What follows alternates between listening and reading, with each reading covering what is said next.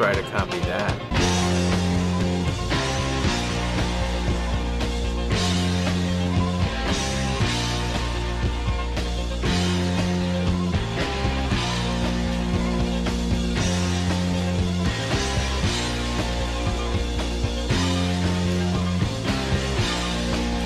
Welcome to the LG Show Show, everybody. I'm your host, Jay's Ways. Gonna start off with the polls as usual, but someone thought that, thought that they were uh, somewhat controversial. Uh, these are not controversial. They may be pushing the understanding of humanity. They definitely are in that aspect, uh, but it's usually the pioneers that are not appreciated as much as everyone else. So, starting out, and, and these, are, and some of them can be very educational. Starting out with the first one, which is surely educational, we polled the question was 7 plus 6 is 12 or 7 plus 6 are 12. Uh, the answers were is received 0 votes, are so received 1 vote, 7 plus 6 are 13 received 2 votes, and none of the above, which received 8 votes. Uh, it's, none of the above is the answer because 7 plus 6 is 13. That was not one of the answers. Moving on to the next poll. What's worse, being crushed by a refrigerator received one vote. Dropping games received six votes. And Damn Daniel Bullshit Vine Nonsense, they deserve to be crushed by refrigerator, also received six votes, so that's a tie. Going on to our last poll of the episode is Has Bloke Gone Too Far? The Earth is 6,000 years old, has received three votes. Bush did 9 11 received four votes. And Jet Fuel Can't Melt Paper received 11 votes. Uh, that's pretty much confirmed.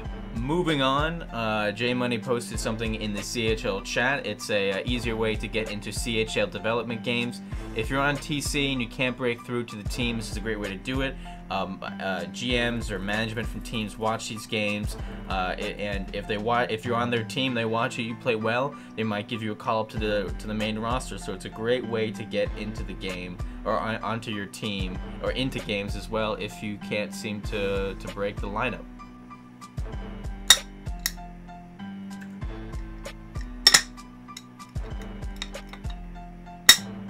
Just business. Moving on, the LGFA had a really big and controversial week this week. It uh, kind of culminated on Monday because a lot of the teams at that point, at least five or six teams were not showing up for games. Uh, one team hadn't showed up for games in about a week. Uh, now, a lot of people got mad at Bryson for not doing anything.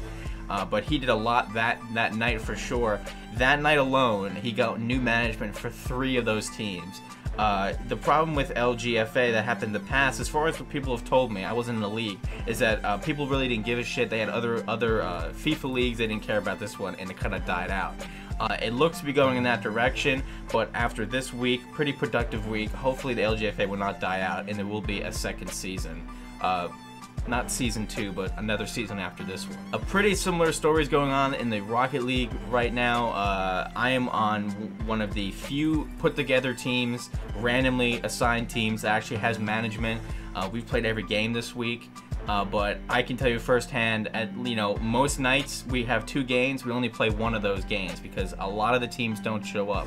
Shockingly, uh, the teams that were put together by a group of friends. You know, before before the league started out with these randomly assigned teams, it was only teams that uh, people put together themselves, and a lot of those put together teams themselves are not showing up for games. It's a bit of a problem. Uh, it's not as much.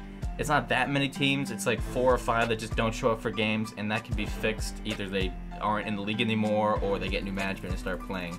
Uh, hopefully that gets fixed, and I can update you guys on that next week quick side note here uh, if you want to not work for anything in your life and, and, just get shit for free and you want a free lunch with extra mayo vote for sanders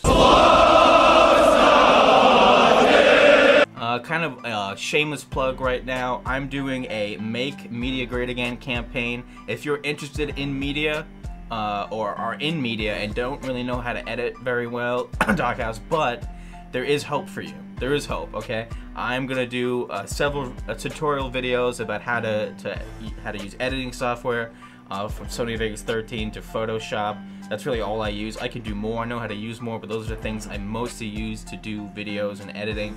So uh, look for that. I have a first video up. It's Sony Vegas the basics about how to edit. Literally just the basics okay? This is just the most simple stuff I can do. I can go further down. I can go very much into detail if you'd like that. So If you're interested in media or in media and you want to learn how to edit, watch those videos, ask for more, and I will do more.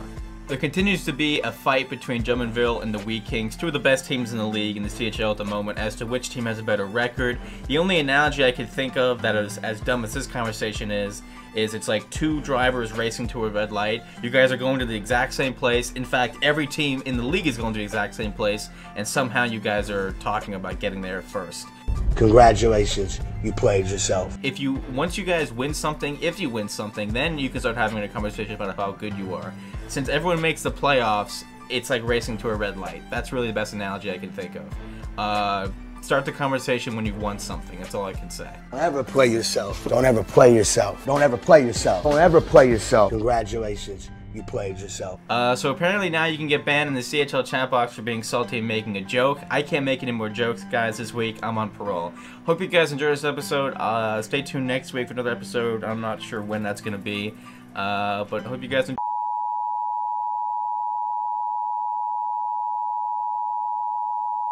Two and a half men. I watched that.